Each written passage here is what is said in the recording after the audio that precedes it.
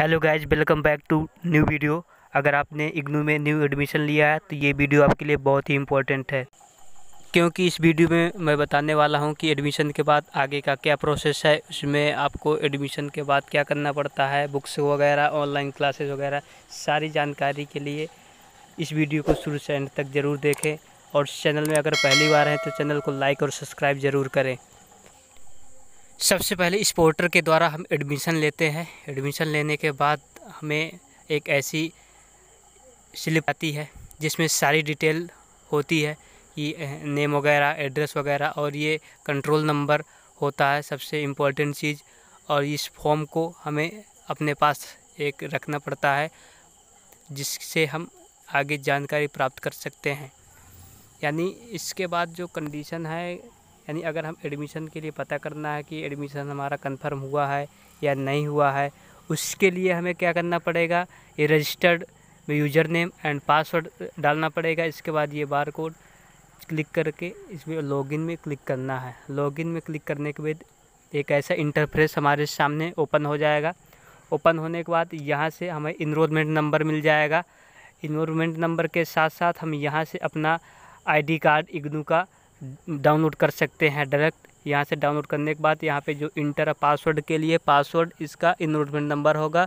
जो स्टूडेंट का enrolment number IGNOU की तरफ़ से मिला होगा, वो इनरोलमेंट डालने के बाद एक ऐसा आपका आईडी कार्ड मिल जाएगा और यहाँ पे स्कैन करके आपकी सारी डिटेल अपनी ले सकते हैं।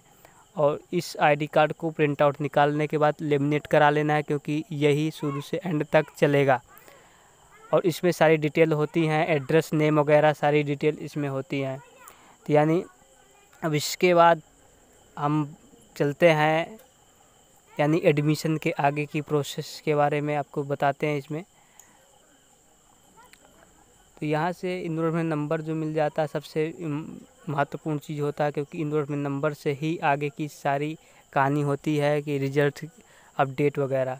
और अगर हम ये जो सब्जेक्ट कोर्स कोड हैं, अगर इनको हमें देख लेना पहले, जितने हमने सब्जेक्ट लिए हैं, उसमें अगर कोई कंफर्मेशन मतलब लेना है कि यही सब्जेक्ट है, या फिर हमारे आईडी कार्ड में, या फिर पोर्टल में कुछ गलत चढ़ा हुआ है तो हम यहाँ से चेक कर सकते हैं एडमिशन स्टेटस में। जैसे आपने जनवरी 2000 जुलाई 2020 में एडमिशन लिया है, जनवरी 2000 तो यहाँ से आपके जो सेमेस्टर वाइज जो सारे सब्जेक्ट हैं, ये सब्जेक्ट वहाँ से आप देख सकते हैं कि क्या सब्जेक्ट हमारे सही हैं। आपने यहाँ पे जो सब्जेक्ट चूज़ किए थे, वही सब्जेक्ट हैं, या फिर इसमें कोई डिफरेंस है? अगर आपको डिफरेंस लगता है, या कोई चीज़ आपको इसमें गलत दिखती है एडमिशन स्टेटस में तो आपको रीजनल सेंटर जाना पड़ेगा। रीजनल सेंटर जाने के बाद वहाँ से आप अपना चेंज करा सकते हैं। सब्जेक्ट कोड को अपने हिसाब से चेंज करा सकते हैं। और यहाँ पे आप साइन अप कर सकते हैं। यूज़र नेम पासवर्ड के द्वारा आप यहाँ पे साइन अप कर दे यानी अकाउंट कैसे बनाएँ तो इसमें भी वीडियो में आपको डिस्क्रिप्शन बॉक्स में रहेगी तो आप यहाँ से देख सकते हैं। तो यहाँ पे साइन इन और साइन अप करेंगे, यानी अपना यूज़र नेम और जो भी पासवर्ड है, उस पासवर्ड को डालेंगे। डालने के बाद अब हम आ गए डायरेक्ट एडमिशन के पोर्टल में। अगर हमें फिर से यहाँ पे रजिस्ट्रेशन लॉगिन करना पड़ेगा। लॉगिन करने के बाद एक ऐसा इंटरफेस हमारे सामने ओपन हो जाएगा, यानी एडमिशन का इसमें सारा डिटेल हुआ है कि आपका इसमें एड्रेस वगैरह सब है। इस एड्रेस में बुक्स वगैरह जाती हैं। तो यानी यहाँ से आप, यहाँ से आप चेक कर सकते हैं अपने एडमिशन के स्टेटस के बारे में। इसमें सारे डिटेल है कि आपने कब एडमिशन कराया था, कितना ड्यूरेशन के लिए है। तो अपलोड क्लियर स्कैन कॉपी तो यानी आप यहाँ से और आपके पास एक ऐसा मैसेज भी जाएगा कि आपका योर एडमिशन जुलाई 2020 कन्फर्म तो यहाँ मेल भी आएगी कि dear Rajendra we happy inform you कि आपका एडमिशन कन्फर्म हो गया है और इसके रिगार्डिंग सारी डिटेल आपको आएगी। इनरोलमेंट नंबर आएगा मेन इनरोलमेंट नंबर होता है। स्टडी सेंटर आपको दे दिया जाएगा और एड्रेस वगैरह और कोर्स कोड सारी जानकारी आपको यहाँ पे मिलेगी।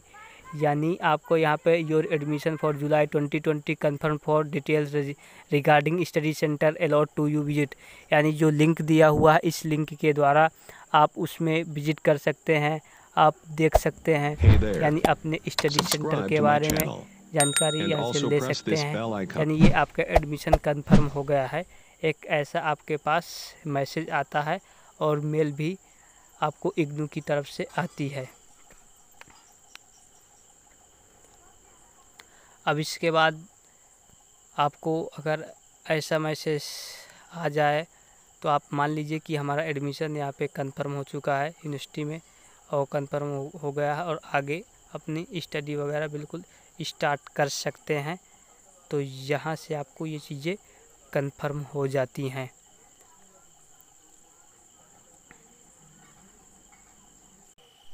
इसके बाद you will be introduction meeting यानी इंट्रोडक्शन मीटिंग होगी, जिसमें सारे स्टूडेंट को इस मीटिंग में आना इम्पोर्टेंट है।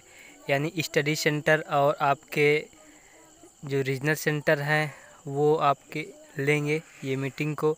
तो आपको इसको ले सकते हैं मीटिंग अटेंड कर सकते हैं।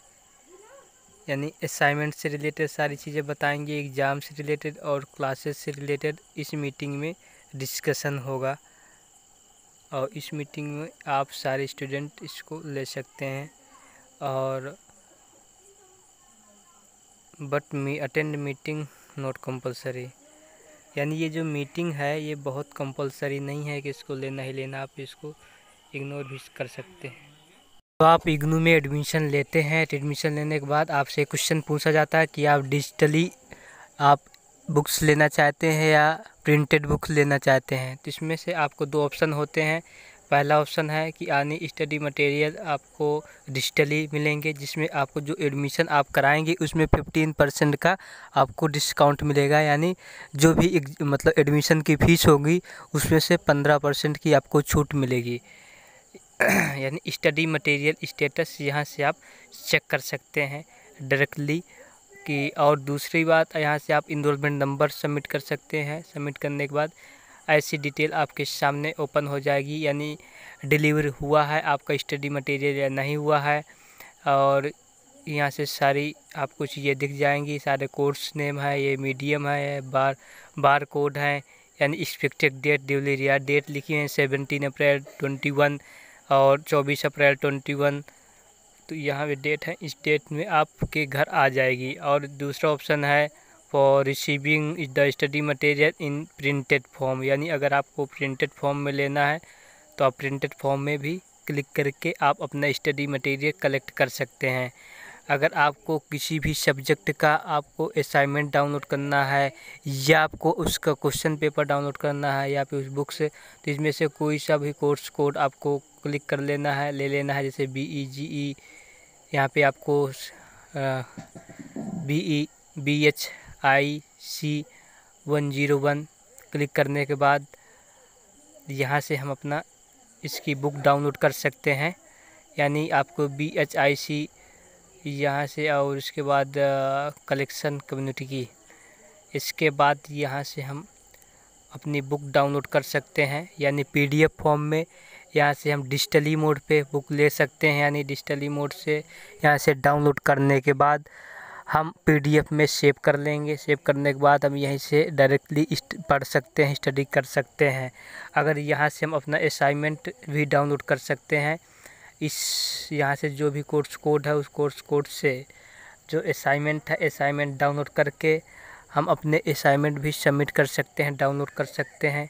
इस वेबसाइट से यहाँ से असाइनमेंट डाउनलोड कर सकते हैं, जैसे M A history M A B S C B A B com सारे असाइनमेंट इसी वेबसाइट में आपको मिल जाएँगे। आपको और कहीं जाने की ज़रूरत नहीं है, यहीं पे टाइम टू टाइम चीज़ें अपडेट कर दी जाती हैं। जैसे सेशन है ट्वेंटी ट्वेंटी वन सेशन है।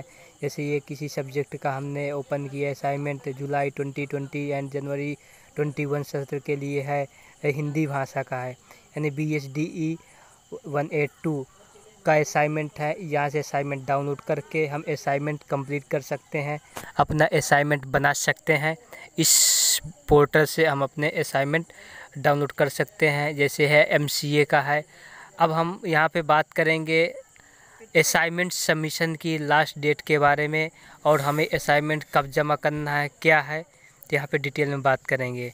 यानी आप अपना assignment by hand online mode पे या बाई कोरियर अपने असाइनमेंट अपने रीजनल सेंटर में जमा कर सकते हैं सबमिट कर सकते हैं और उसकी अपडेट आपको time to time regional centre या स्टडी सेंटर की वेबसाइट पे नोटिफिकेशन मिलती रहेगी। या आपको ऑनलाइन मोड पे जमा करना है या बाई कोरियर जमा करना है या फिर आपको जो है बाई हैंड जमा करना है। जैसे normally June term end examination जो है आपको 31 मार्च तक सबमिट किया जाता है। यानी नॉर्मली जो हमारा एग्ज़ाम होता है, जून में, जून का, उसके जो कि असाइनमेंट सबमिट किए जाते हैं इकतीस मार्च तक सबमिट किए जाते हैं।